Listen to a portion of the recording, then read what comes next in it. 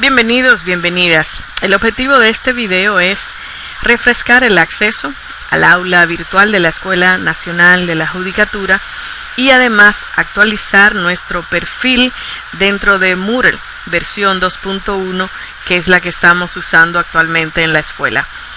En el navegador digitamos la dirección enj.org y vamos a llegar a esta página. Acá a la derecha vamos a tener el enlace que nos llevará a la entrada del aula virtual.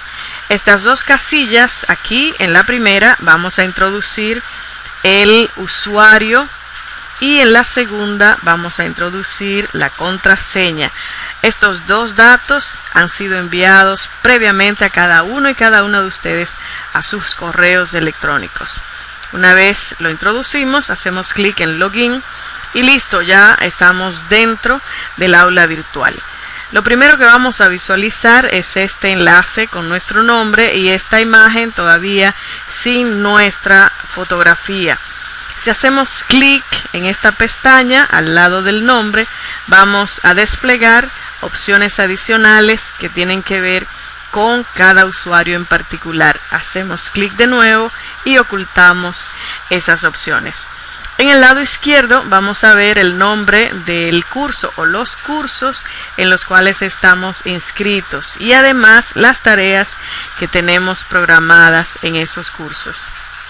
Del lado derecho vamos a tener bloques que van a estar presentes en los diferentes cursos que tomemos en la escuela. Estos bloques, eh, de acuerdo a la versión de Moodle 2.1, tienen dos iconos. El primer icono me va a permitir mostrar u ocultar el contenido de cada uno de estos bloques.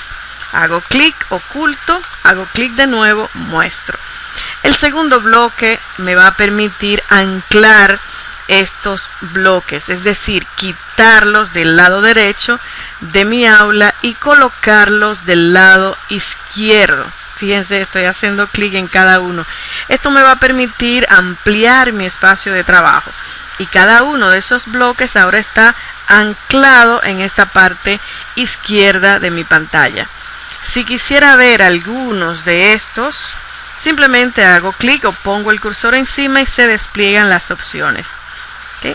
Cada uno de ellos mantiene el icono en caso de que quiera volver a colocarlo del lado derecho. Si quiero de un solo clic colocarlo todos, entonces utilizo el icono que está en la parte inferior. Y aquí ya de nuevo están todos colocados del lado derecho. Lo próximo que vamos a hacer es actualizar los datos que previamente la escuela ha introducido en nuestro perfil. Hacemos clic aquí en el bloque de ajustes y aquí tenemos editar información. También si queremos cambiar la contraseña tenemos el enlace para eh, hacer ese cambio. Vamos primero a editar información. Aquí se va a desplegar un formulario con todos los datos personales y otros que vamos a necesitar. Es muy importante que estos campos que están en rojo los completen. Esto indica que son campos obligatorios. Si no los completan no van a poder grabar esta información. Vital es que coloquen acá en dirección de correo la dirección de correo electrónico que ustedes utilicen, ya que cuando el docente, la docente o alguien del equipo técnico le envíe un mensaje desde el curso, esta es la dirección de correo que va a utilizar Moodle para enviarles una copia. Aquí tienen también campos obligatorios, la ciudad y el país. Si quieren cambiar el país, pueden hacerlo haciendo clic en esta pestaña.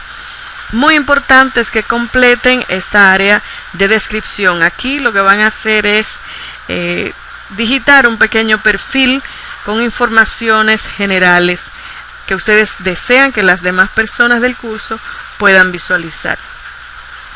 La imagen es uno de los elementos más importantes en la virtualidad, pues a través de la imagen sabemos cada quien con quién estamos conversando.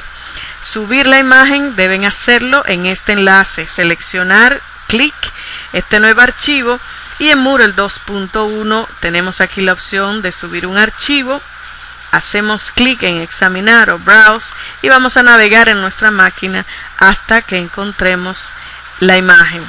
Cuando la encontremos, doble clic y hacemos clic en subir un archivo. La ruta de nuestra imagen se va a colocar aquí, hasta tanto no la vamos a visualizar. Eso lo haremos una vez guardemos esta información. Otras informaciones que tienen aquí, si desean pueden llenarlas, estas no son obligatorias.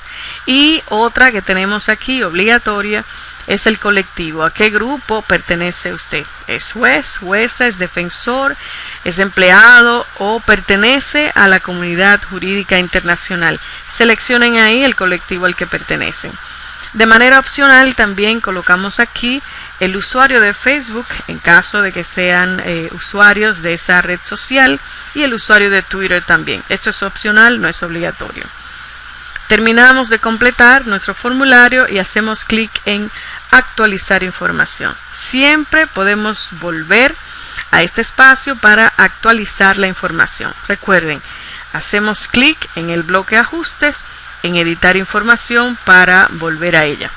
Espero eh, poder ayudarle con este pequeño instructivo de cómo navegar a través del aula virtual de la escuela que es Moodle 2.1 y además ayudarlos a actualizar su perfil. Yo soy Sobeida Ramírez y recuerden que en el curso que están cursando conmigo hay un foro que se llama Preguntas a la profesora. Pueden plantear ahí cualquier inquietud que les surja sobre este tema.